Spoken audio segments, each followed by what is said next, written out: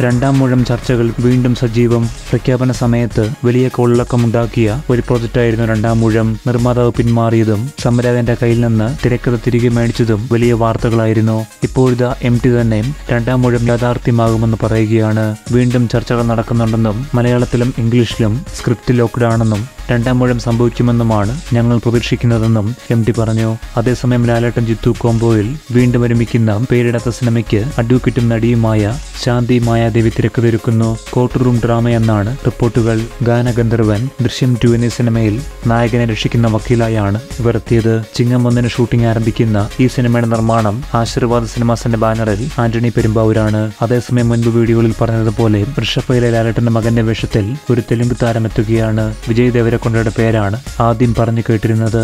എന്നാൽ ഇപ്പോൾ റോഷൻ മകയാണ് മകന്റെ വേഷത്തിലെത്തുന്നത്. റോഷൻ അപ്പനെ മികവാണ് ഇതിലേക്ക് എടുത്തതെന്ന് സംവിധായകൻ നന്ദകിഷോർ പറഞ്ഞു. ഷനയ കപൂർ സഹറ എസ് ഖാൻ സിമ്രാൻ ഗരുഡാറാം തുടങ്ങി വലിയൊരു താരനിരയിലാണ് നടക്കുന്നു. രണ്ടായിരത്തി ഇരുപത്തിനാലിൽ അഞ്ച് ഭാഷകളിൽ റിലീസ് ചെയ്യുന്ന ഒരു പാൻ ഇന്ത്യൻ മൂവിയായിട്ടാണ് തുടങ്ങുന്നത് ഈ മാസം അവസാനം ഷൂട്ടിംഗ് ആരംഭിക്കും.